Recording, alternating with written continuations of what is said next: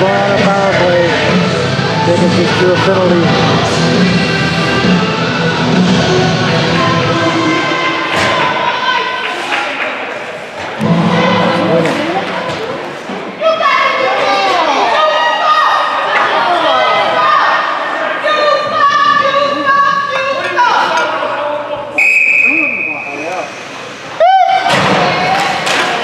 Was it, to the head?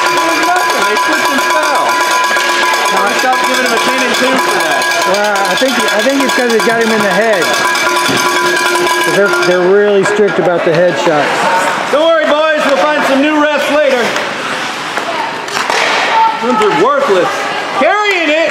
Oh, no, no. I guess you can do that now. You probably didn't see that one either. Seem to be missing a lot out there.